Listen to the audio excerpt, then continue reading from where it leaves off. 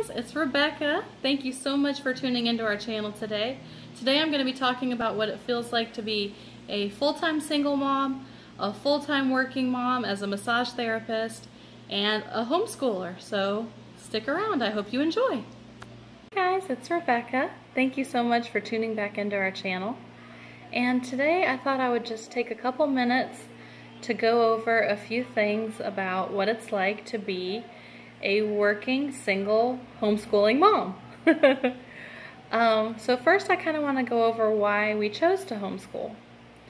Um, so we live outside of Atlanta, Georgia, which is kind of been a hotspot for um, COVID-19. And so back in March, our school, Sadie was in first grade, and they went from um, face-to-face -face instruction to virtual online school. And it was really hard to navigate because of course the teachers were kind of just thrown into it and they just were having to do their best. So we struggled with it a bit. And one thing that we really struggled with was I found out that Sadie would get called out in class if she didn't know an answer. Um, and so it had created kind of a panic response with her. And so anytime she didn't know the answer to a question, she would just get really upset and start crying. So that was kind of when I started thinking about, is it possible for me to homeschool? Can I do this?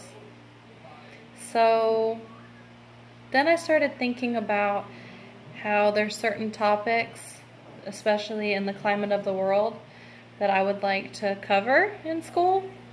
Um, make sure that she gets a well-rounded world history um, curriculum, for example. So that's kind of when I started thinking about it even more. And um, Sadie and I live with my parents. We actually moved home when Sadie was in my tummy. So um, I started talking to my mom about it, like, what did she think? Did she think I could do it? Did she think I should do it? And we just really felt like it was the right thing. I also, with being a working mom, I miss out on a lot of Sadie's life with her being in public school.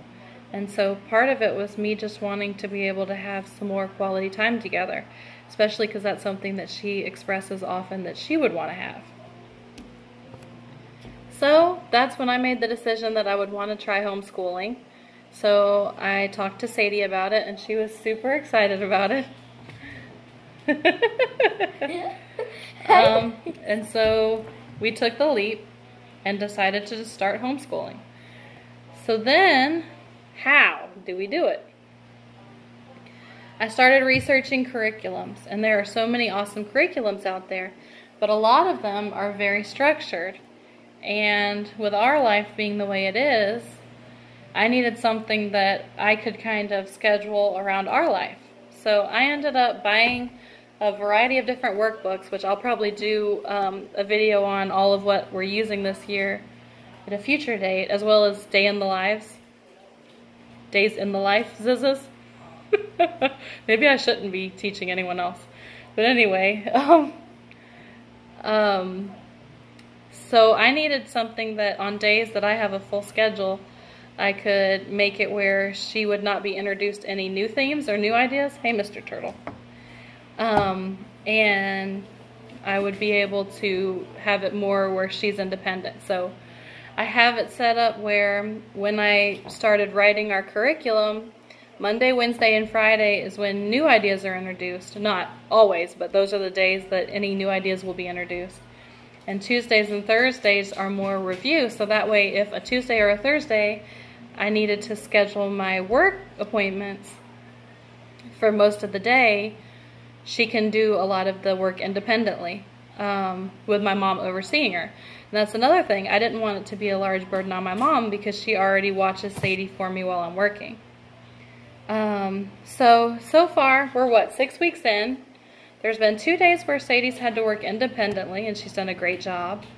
And uh, there's been one time where we just missed a day, and we ended up actually working on a Saturday rather than a Friday.